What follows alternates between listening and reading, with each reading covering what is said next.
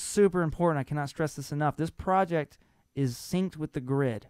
So you got to make sure you're recording to the grid that's in Cubase and it's aligned properly. Otherwise, your quantize isn't going to match up at all. It's got to be on. Hey everybody, I'm Josh with Great Interstellar Studios, and today we're going to be doing a tutorial on drum editing in Cubase 8. Um, it's kind of hard to find good information out there. There's a lot of misinformation or um, just incomplete information. Um, so my aim is to hopefully um, educate you guys in a practical way on how to um, approach this kind of stuff. Um, so today we'll be covering drum editing. So this is my uh, first kind of uh, tutorial type video. So if you guys are really into the covers and uh, recording videos or live music. Um, this isn't going to be the same kind of thing, so um, it's going to be a lot slower paced, and it might bore some of y'all. So um, it's not going to hurt my feelings if you guys don't um, watch this video if you're not really into what I'm going to be talking about. but hopefully this will appeal to the people out there that want to learn this stuff and uh, can get some use out of this. So I'm to make this uh, first little video here um, kind of short, or at least as short as possible, um, and try to just um, open it wide up here for you guys. okay, so in my project here, uh, I've got one open, and I've got my uh, left and right locators uh, selected right here uh, for the area that we're going to be working on. So um, I've recorded the drums already, and this is pretty much as they as they were recorded. I um, haven't touched them, um, all except for this other section over here that I've already done. This is my second attempt at a uh, uh, this is my second attempt at a uh, drum editing video, but the first attempt my screen capture software didn't work right. So I'm going to be attempting it a second time here over here on the project. So um, this is exactly as it was recorded. I'm going to open up lane view here and you can see that know, we've got four takes here and then we did some punch ins down here. So uh, for the purposes of this I'm going to show you guys how to uh, well we have to comp it first before we can edit it. Um, we have to uh, get this stuff consolidated down to one one straight channel. That'll make it the easiest on us. Um, so that's generally what I like to do first. I'll record all the drums. Um, in this case I've got a I've got I think 15 mics a kick, a snare, three snares, um, top and a bottom, and then the body mic is an SM7 above the drummer pointed down at the snare. Five toms on this kit, um, a hi hat and a ride, stereo pair of overheads, stereo pair of rooms. okay, so um, after you've recorded it, um, so the next step is to uh, choose what takes you want. So I mean, you're hopefully uh, you're recording in multi-track mode. Uh, you're recording all these at once. Um, I find it helpful to put everything in a folder um, and enable uh, group editing. uh, that just makes it to where uh, if you do one thing, if you make a cut on one of the channels, um, it'll make a cut all the way down every uh, channel in this folder. okay. So um, you're recording over each channel. Um, so every time you do a recording over another recording, um, it'll put it in a new lane. Um, if you didn't know what lane lanes are, um, and so of course if you have it in group editing mode, um, it'll help really not. Uh, it'll help to really let this stuff not get uh, confusing later on because it can be pretty confusing, especially if you've got everything open um, all the time and you're trying to navigate through all this stuff. okay, so the way that uh, this group editing thing works is it will select everything as a group and it'll make functions happen to every channel in the group. Um, but the key thing is that they have to start and they have to stop at the same time. If you've got um, a cut in one of these, let me show you. you got a cut, like saying your snare bottom right there um, and then you turn the group editing on, it's going to tell you the tracks in this folder are not completely in sync. Group editing could fail. Um, so that just means that hey, this dude's not in sync. Um, so whenever you try to select it, it won't select it. Um, another really important thing, let me just undo that real quick. Um, another really important thing is uh, key commands. You want to make sure that you know your key commands and you're able to navigate quickly. That'll save you um, all kinds of time. I'll probably do um, a video on key commands um, all by themselves um, if this stuff takes off and if you guys like this kind of stuff. Um, so uh, the basic ones are, um, if you don't know them already, if you hold Control while holding the scroll wheel, you'll zoom in and out. You hold Shift, scroll right to left. Um, I have a couple key commands set, nothing too fancy. Um, the tilde key, which is the little, um, it's to the left of the one. Um, that key for me um, opens up the edit channel settings on whatever channel. I just find that really useful for the way I work. If I need to get in there real quick, um, I hate having to click and then go up to the channel edit button. Um, it's just a waste of time. All right, so anyway, let's get into this. So we're going to listen to our drums. And um, let's open up lane editing here. Uh, let me zoom in to our selection. Okay, so for the purposes of this, um, these takes down here, we did them a little bit differently. Um, so there's two different ways to play this part. Um, so it just depends on what the band wants. For this, we're just going to use this uh, for the first way that we did it. Um, and then we've got this punching over here. So um, that'll make it nice and simple. I'll show you how to select one punch in. Um, so also, as far as key commands go, the number keys uh, correspond to your toolbar. Um, so one, two, three, four, five, six, seven, and eight. Um, so 8 is our comp tool. So if you're not familiar with using the comp tool, I'll show you how. Um, so when you're in the comp tool, uh, what you need to know is that if you hold Alt, it'll bring up scissors.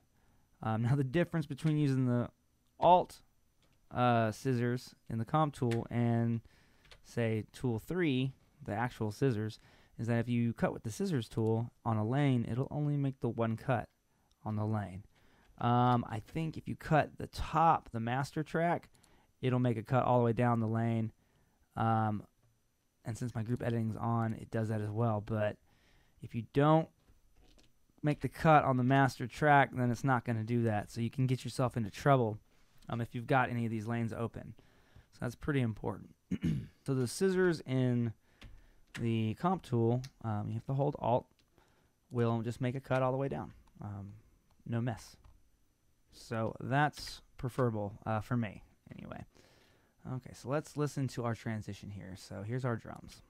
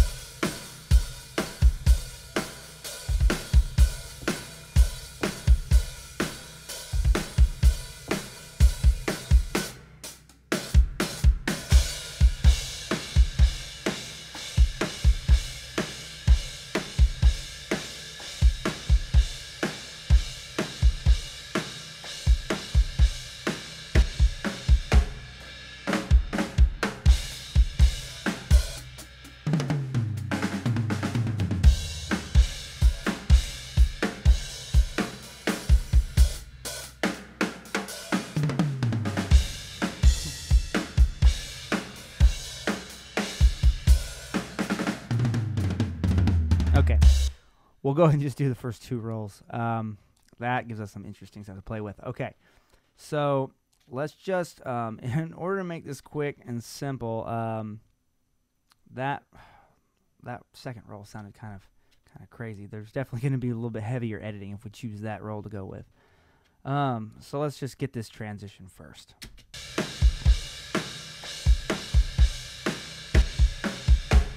So um, I hear a snare being hit and being cut off suddenly. That's not great. Um, so we definitely don't want that. Um, so let's probably, so we're going to start off by making a cut um, to make sure they're all cut in the proper places. Um, so this whole bit sounds scrambly to me, so let me just see where it comes in. It sounds like it might get a little clearer, uh, clearer, um, right there.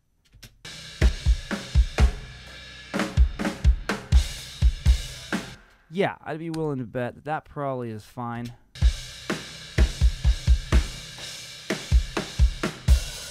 Mm, I don't like how he hits that cymbal right there, though. That kind of is supposed to be like a pause. So let's see. Um,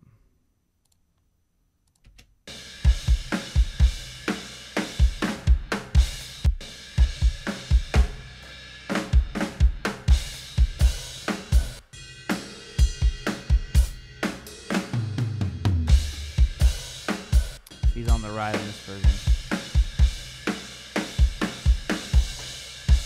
Huh.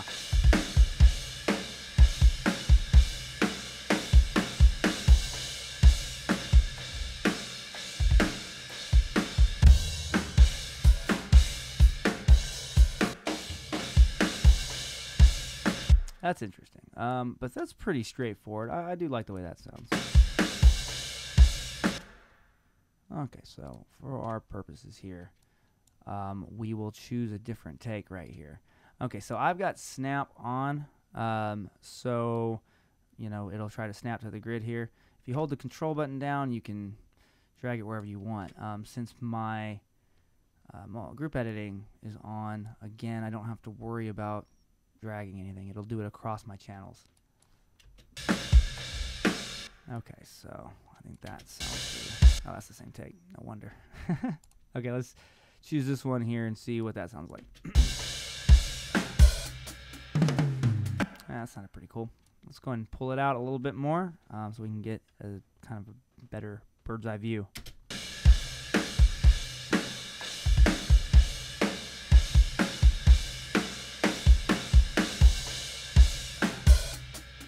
Nice. So when I was listening to that, I don't look at where the, the cut is. Um, I'm trying to just focus on what I'm hearing. Because um, if you're saying it, um, you can fool yourself. Um, the eyes and the ears are pretty different. So um, I looked down at my keyboard in front of me while I was listening to that, and uh, it sounded pretty good to me. Okay, so let's go ahead and um, we've got our, our transition here. Oh, although this is a completely different thing that we're not using. So we wanted to use this take um, going in. So let's not do that. Let's not switch takes completely. So let's come back up here. So I like the way that that went.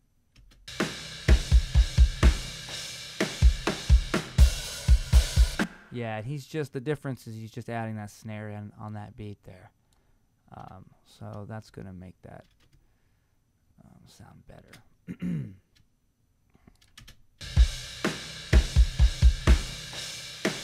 okay, so we're going to make our cut on measure 155 right there. And then we're going to select our comp. Okay. Hmm.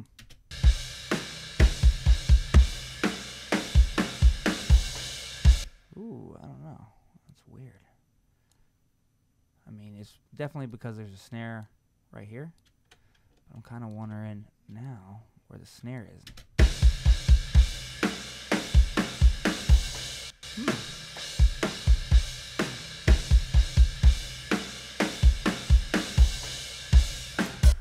kind of changes the whole feeling of it. Um, the snare being right in the, on this beat instead of this beat here. So let's go ahead and just take a look.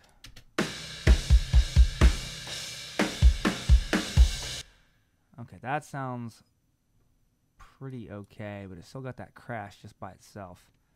Um, what if we married both of them? We're gonna have two snare hits in a row. Let's see what mm, Yeah, that gets a little messy.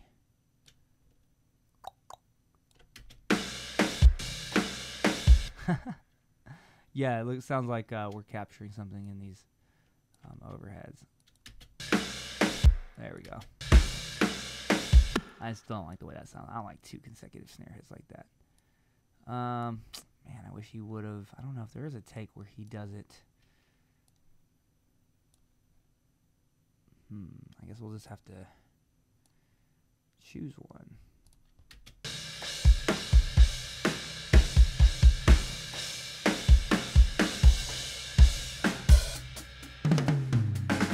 I guess the worst or the least offending one is the the crash by itself. Um, even though, in this context, I'm not crazy about it, but um, it'll sound fine. Um, so we'll go we'll go ahead and go with that. Okay, so this roll was pretty cool, I think.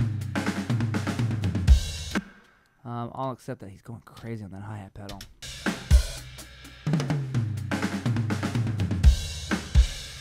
Oh, no, no, no. He's just hitting the hi-hat a couple times at the beginning.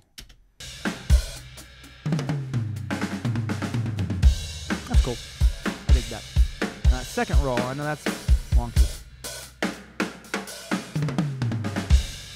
Ooh, no. I still like that. That's pretty dope. Sounds like it's um definitely going to need a little bit more heavy editing because um, he's definitely swinging that a bit. Um, but we'll go ahead and use it, and I guess we'll just that that'll be an example of um, how to drum edit, right? That's what we're here for. Um, okay, so where are we gonna stop our? I'll go and stop it on this snare right here. so let's make my cut right there, um, and that'll be a good consolidation spot. Let's see where it's going to put that. It's going to move that back a little bit, but this gives us a little bit of room because as we edit this next section, this is going to be moved up a little bit. Um, so that's cool. That makes for a good section there. Um, so let's make a cut at the beginning of our passage, and then we'll consolidate.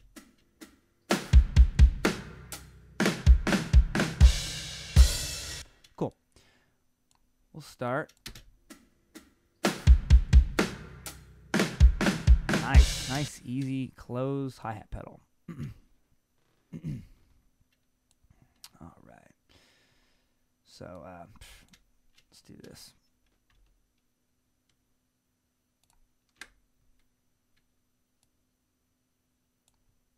Cool. And this is slider right here. If you uh, drag that, it'll make your waveforms bigger or smaller. Um, I learned that a little late but when I found it, it was pretty cool. Very helpful. Okay, so we've got our cut here. Okay, so the next thing, let's go and close um, lanes here. So uh, in this section, what we're going to do um, to consolidate is normally what I will I will do is uh, I will save. Um, let's consider this since this is my second attempt doing this. it's a little bit different than normal. Because uh, normally, once I select all my drums, I would save it um, to a different file name called whatever the project name is, um, drum source. Um, so I had I had originally done the drums myself for this song, so I had one original drum source already, and then the drummer uh, they got a new drummer, so he came in and recorded it. Um, so that became drum source two. I've already saved that out and now uh, we're in this project drum edit tutorial. Um, so what I'm going to do, I've already got drum source saved, um, but we're just going to go ahead and just save this as number two.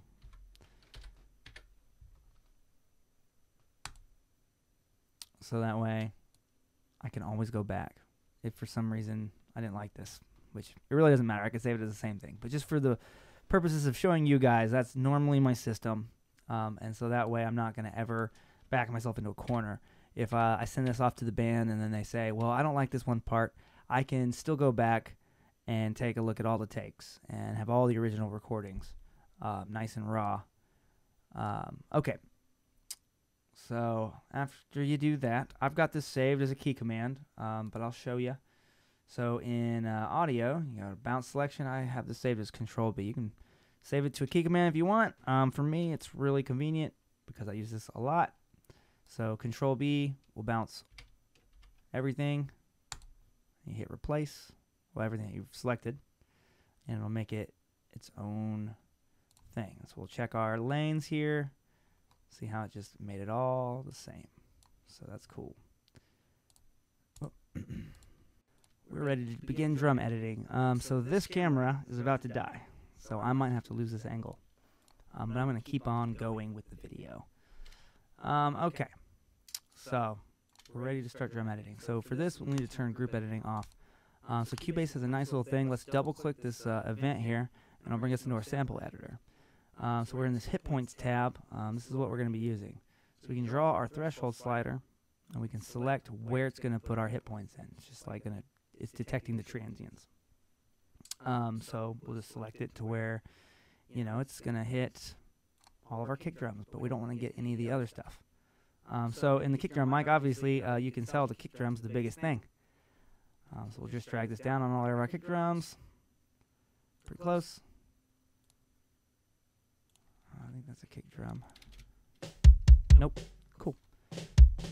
Um, but you always want to go back in and check it. So for drum editing, what we're doing here is we're setting up hit points to um, tell our quantize panel where to make cuts. Um, so it's really not too critical that they be as you know exactly on the transient to the T. You know, if they're a little off, that's fine. Um, because we're setting it up to where it's going to detect it right here. It's going to say, oh, hey, we're going to make a cut right here. Um, and actually, you set it a little bit back. You can um, there's a parameter in there you can set to how far or close to this line um, you have. There's an offset. Um, so I have it offset to where it's going to cut a couple milliseconds in front. I think like 20 milliseconds in front. Actually, it's it's it's a little bit.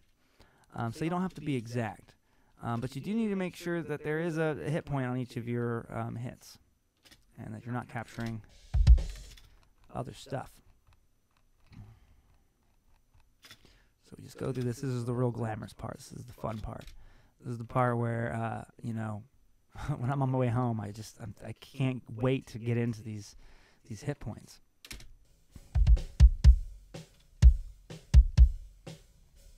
No, actually, this is like when I'm listening to podcasts and stuff. I'll just sit here and hit point drums, and I'll just zone out, man. So um, I can pretty much scan all this stuff and see that that's good. Um, okay, so we're done with our kick. Let's do our snare. All right, so again, we're going to uh, move the threshold um, to where we can get all of our snare hits, but nothing else. okay.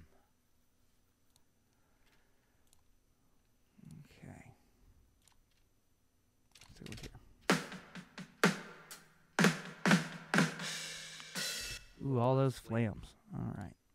So I do something a little bit different with flams. What's going on over here? This is toms. Okay. Those are all toms too. So that's our whole event there. So here we go. Uh, so for these flams, um, it's putting in a hit point for each of the hits, but uh, I usually don't do that. Um, I'll usually, let's go and just take them away. Um, okay, so when you're in the sample editor, let me just run you through the controls here. Um, so it works like just like the arranger window. Um, if you hold Alt, that's how you insert hit points. And if you hold shift, that's how you disable hit points. You can drag them marquee select them all, and it'll just take them away. So that's what I just did then. gone. Okay. So I usually put in a hit point in between our flams because I just want it to treat that hit as one. Because if it tries to detect both of them, it's going to make our cuts way too close together and um, together, and uh, then uh, it'll just be a mess. It'll be more prone to mess up, and we don't want that.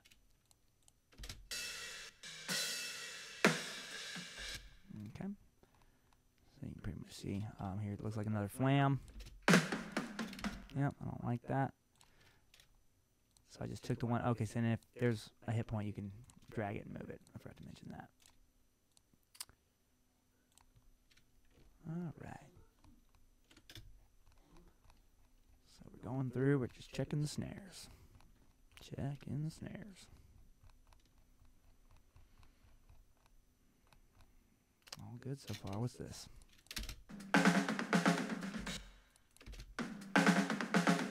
Is that a snare or a tom? I think it's a. I think it's a tom. Uh, sometimes you gotta get out and take a look here. Yeah. It's right here. Oh no, it's three three snares. See? There we go. We're checking. He's just hitting this one real light. Okay.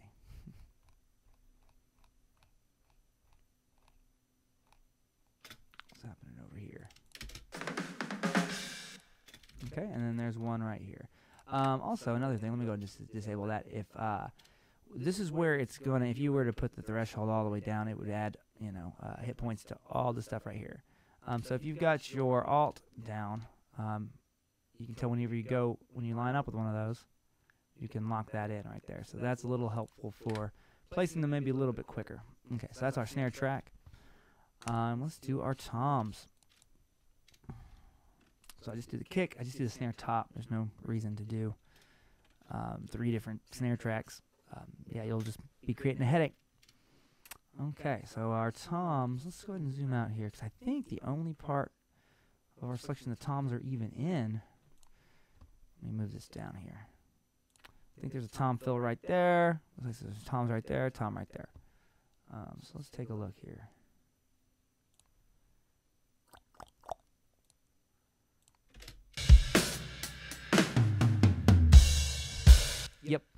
All right, so let's go ahead and do this. This is uh, just something that I'm going to do real quick. Just to show you guys how. So I'm doing toms. I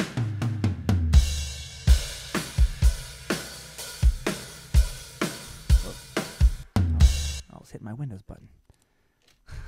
Don't you hate when that happens? All right, so I always cut my toms. I'm just going to cut the silence out of the toms.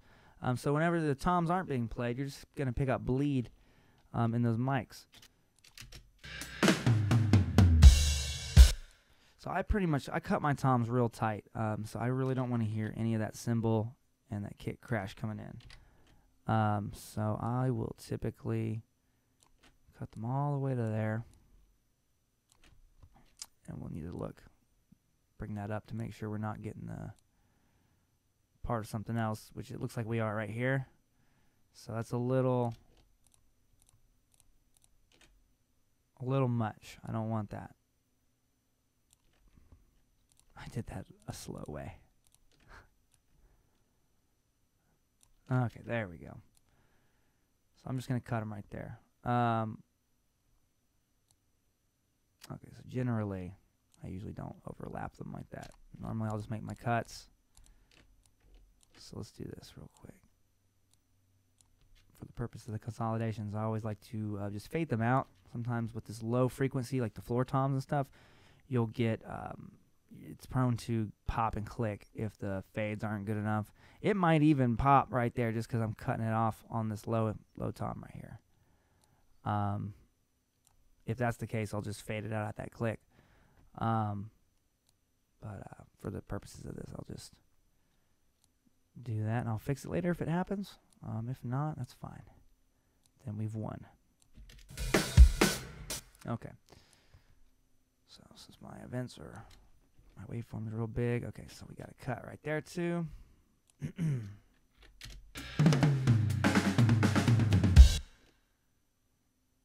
cool.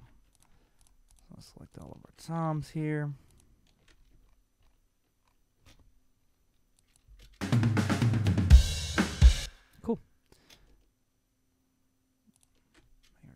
There. And then we have another fill right here.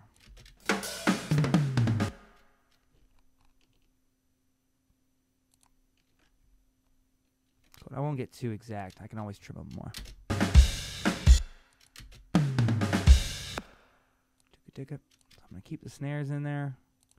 I'm going to cut it right before the crashes and the kicks. That's just what I do. All right, and then for our selection, I'm just going to mute all these. All the silence in between. Okay. And then I'm going to reselect everything. So um, since I've already hit pointed the kick and the snare, I've already got hit points on them. So I don't want to, uh, what do you call it? I don't want to rebounce those. Um, I know that these are all the same, so I just want to rebounce the toms. Um, I don't even need the snare body. It's really, if I just selected that. But I'm just going to marquee select that stuff, and I'm going to rebounce it. Again, I could hit Control B to do it real quick. But boom, that's going to replace it. And now where we've cut out all the silence, now we've got all of our...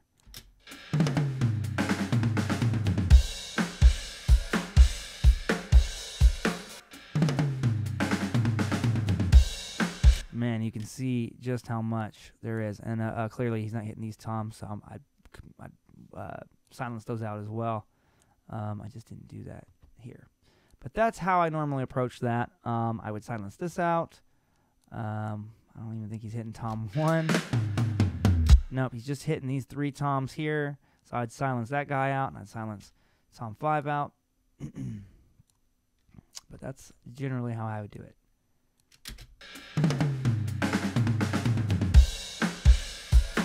Cool. And, um, all right.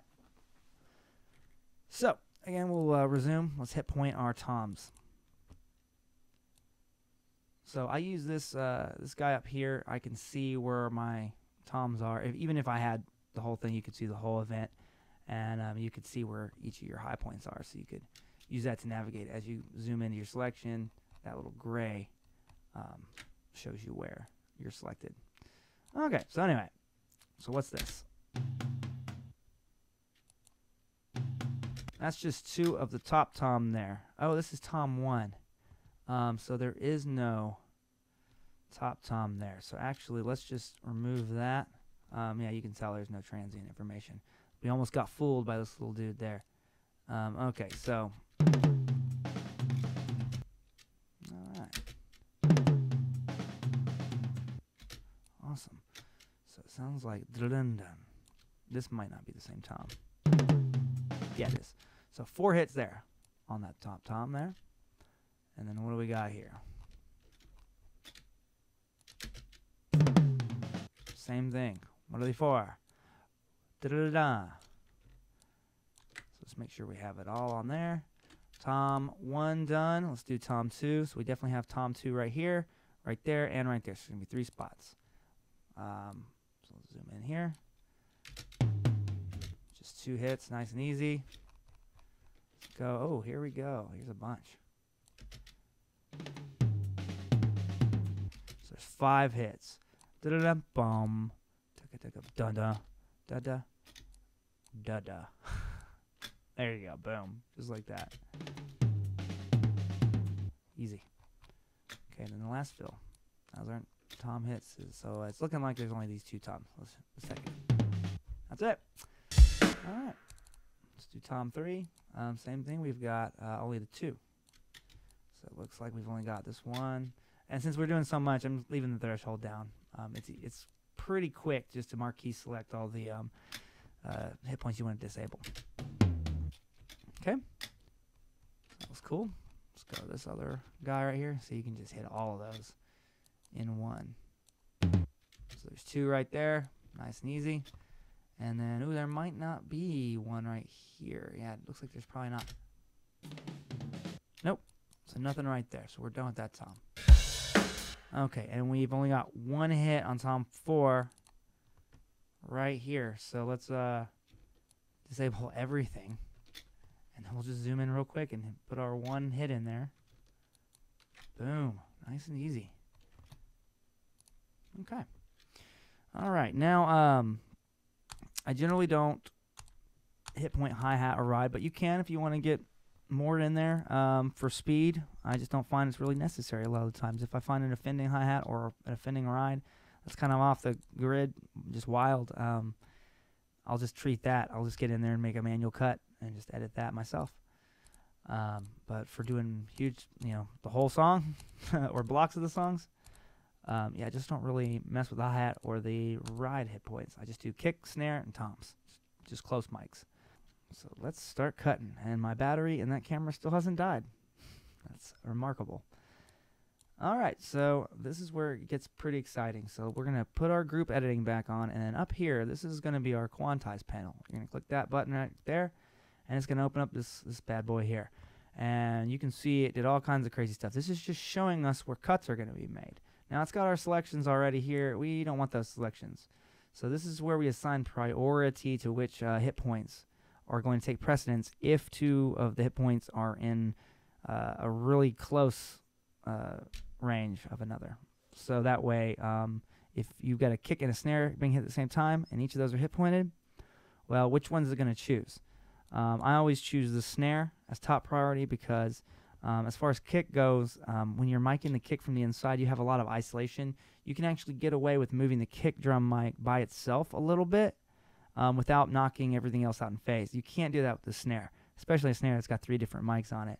If you move one of those mics a little bit, you're just going to ruin the phase relationship and you're going to cause um, all kinds of problems for yourself. So always snare top priority. Um, kick is always next priority. Boom, just added a bunch of cuts.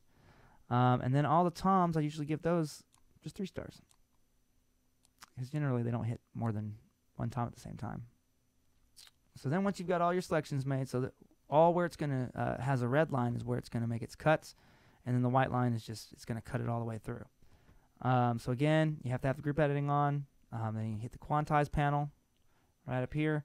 Then you select all your priority, and then um, oh, super important! I cannot stress this enough. This project is synced with the grid. So you got to make sure you're recording to the grid that's in Cubase and it's aligned properly. Otherwise, your quantize isn't going to match up at all. It's got to be on. So uh, I have my drummers uh, or all my musicians record to the click that's in Cubase. Um, so I just use that, and I always set up my grid. So you do that. You do that first. Make sure that grid's set up. Otherwise, this isn't going to work. You're not going to be able to do this at all. Uh, you're just going to have to do this manual way, um, which can be a pain. Another thing is this catch range. Um, you know, you might be concerned with, well, Josh, I don't want to grid my drums completely 100% and make my drummer sound like a robot. Um, so, uh, again, I'll, I'll, say too that um, along with the hi hat and the ride, a lot of the times I won't do toms um, because the tom fill is going to be this original creative thing. And um, for me, I think the way that drummers will play their toms in their fills, um, you know, kind of gives their personality to the fills. So, most of the time I leave fills alone um, unless I just feel like it needs to be edited again. I'll, I'll, sometimes I'll just get surgical and I'll just pick and choose which ones I'm going to get in there and maybe move just one hit if I have to. Um, but for the most part, I do like to leave them alone.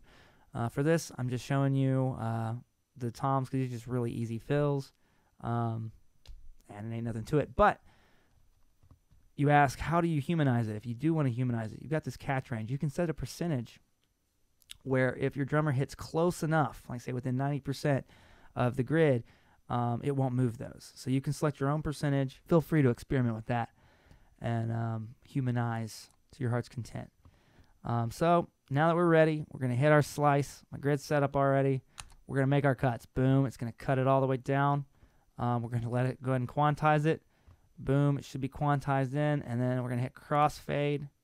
Um, sometimes, um, if you're if you're like listening to it at the same time, sometimes crossfade won't show up. Sometimes you just have to move the cursor to get this thing to like refresh and get this other tool to uh, come up. Um, that's just been a problem for me sometimes. Uh, so that kind of confused me. Okay, so these crossfades, uh, they're one millisecond right now. That's that's pretty short. That's pretty dang short. so um, I'd actually like it to be a little bit longer than that. Yeah, let's do like three. Whoop, not 23. Let's do uh, three milliseconds. There we go. So like for the kick and the snare, uh, well, kick actually needs a little bit more. Uh, but if if they overlap, if there's low frequency inter, uh, information there, um, it's more prone to popping with shorter lengths. So for like toms, you might want to open up the length of the crossfades to maybe uh, five milliseconds. Um, and you'll see that as we edit, it, it may uh, show us what it's going to want to do. Um, equal power for drums. So let's go and close that out. Okay, so we've crossfaded it. All right, so it's quantized. So then um, that's all good and fine. It seems to have done this for us. Um, that's pretty neat, but I don't trust it. You should never trust this stuff because if you don't listen to it, you'll you'll find out. So we're gonna listen to it, um, and we'll see. It may we may luck out. The, the first video I did of this, um, it pretty much did it all the way through. My drum, the drummer that recorded this was pretty tight, pretty close to the click.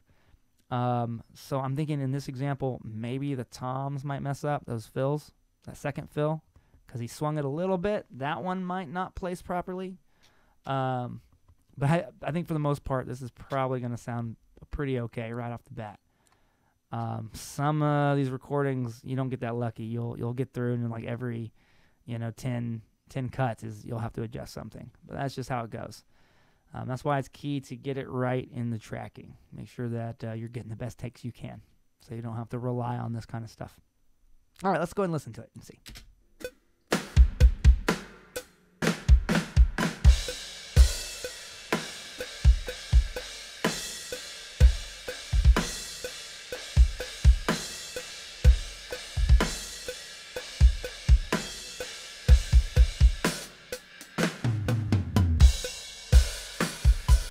So I heard some stuff. Okay, um, so there was an example of when we didn't hit point the uh, hi hat. This one is very off. So again, like I said, we'll just come in and we'll do a manual cut, and then I'll just move this over. So um, I'm gonna use nudging on this. So um, you have a couple different ways you can do this. I, for the longest time, I just dragged the actual vent over like that um, but then you're just left with this space here. So I don't like that. I started using the nudge. So if you hold the control and the alt keys at the same time, you'll come up with this little icon here. And then when you drag, it'll drag within the event. So that's pretty dang cool. Uh, when you do that, you'll drag this over too. So you just have to watch that other side. So then you come over to the other side and then just drag your crossfade over like that. And um, hmm. So this seems to be a hit. So we're going to check this out. That might be something. Oh, that's going to be our flam. So that'll probably be okay. So let's check that out. Nice.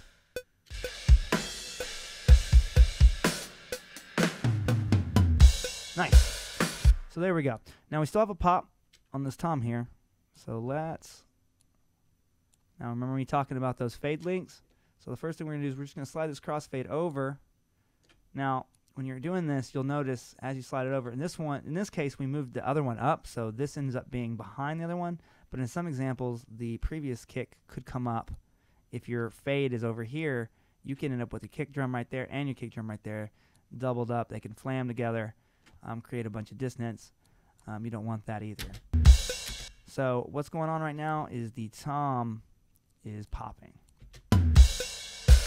We don't want that to happen. So again, we'll just drag this over as close as we can, and then we'll just open up this fade length. We'll just, uh, it was set to three, so let's double it up out to six, six or seven, something like that. And boom, our, our pop is done. Now we played it a little close to that, so we may have got that pop from there. So let's go and listen to it a little bit out. Yeah.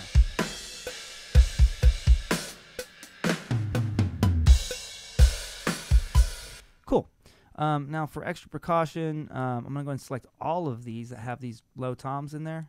And I'm also going to increase the fade lengths.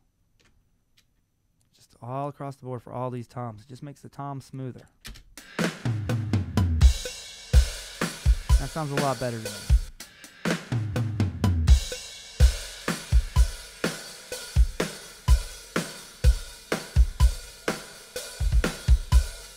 cool. Pretty tight a lot of times those doubles like that, when you have kicks like that, they don't drummers don't play those tight a lot of the times. Um, but that's a testament to how close he played it. It put him in the right spot.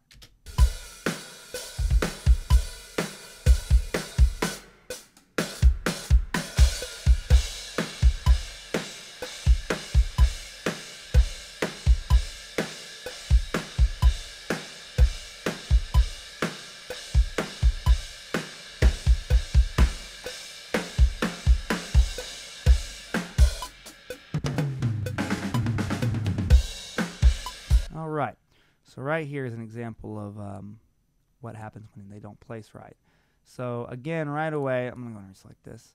I'm going to go ahead and increase the fade lengths on these because I, I already know um, that they don't sound very clean.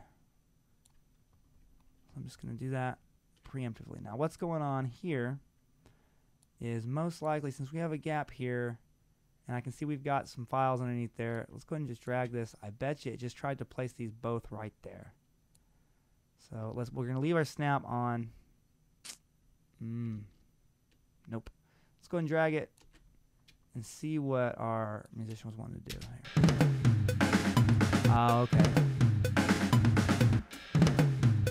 Okay, so because the way he's playing this fill, uh, one two three four, he's doing a triplet.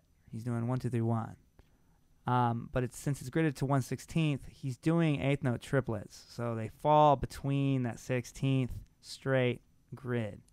Um, so it tried to snap this triplet in that grid. So what I'm just gonna do here is I don't want to make really any cuts. I know he played that pretty clean, so I'm just gonna erase this and drag it out and just crossfade that. He plays it pretty close to the click.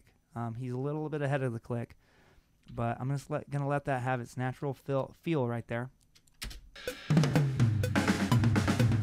and it'll be fine.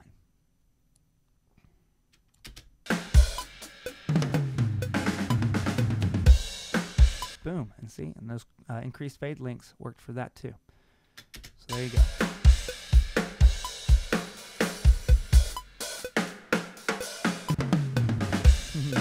Uh, so this is the same thing because he does the same type of triplet there. Um, so I'll just delete this. I already know what the solution is. Delete that, and I'll just drag it all out. Fade it right there. Listen. Cool. Okay, now I do hear a little bit of rattiness. Um, so again, increasing those fade lengths. Make that into a t-shirt. Increase those fade lengths, guys. That's retarded. Ah, there we go. See?